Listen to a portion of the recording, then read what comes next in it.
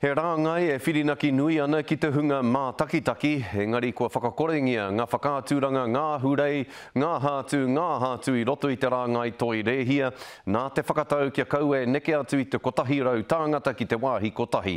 Nō reira, kua whakatōpū ngā rōpū toi rēhia Māori kia ora tonu ai rātou i roto i ngā karawhiu o te wā.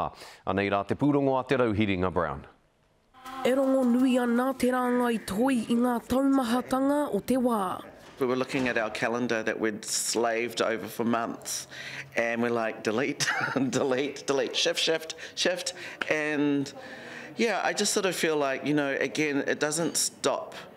the desire for what we do. All it does is rechannel it and redirect it. It has been of huge impact um, for, our, for our people, for our industry. Um, our people are the ones who are, um, are contracting, who are coming on to, um, onto projects that have been cancelled. I have people who are looking at a year of cancellations for the first time in their adult life. Hai tā te kaiwhakahaere o te Kamupene Kanikani o Atamira, ka ngana tonu rātou ki te tautiaki i a rātou kaimahi ahakoa te aha.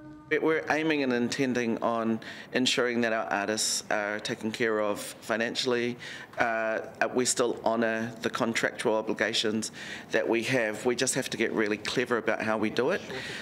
Me te aha, hai tā te kaihautū o te rōpū whakaari o Te Rēhia, Ko te mahi ināianei kia whakahāngai i ngā tukanga mahi ki ngā āhuatanga o te wā. So this year we plan to tour a Te Reo Māori season to schools, um a bilingual show to communities, um however we are looking at how we can do this in a way that is the safest and look at um looking at digital transmission.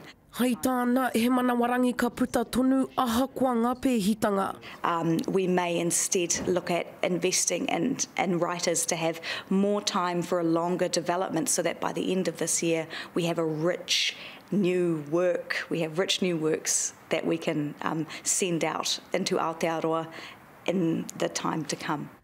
Heoi mō tēnei wā tonu kua whakarite te hapori toi i tētehi whārangi pukamata hai pou whirinaki mō ngā kaimahi i tēnei wā.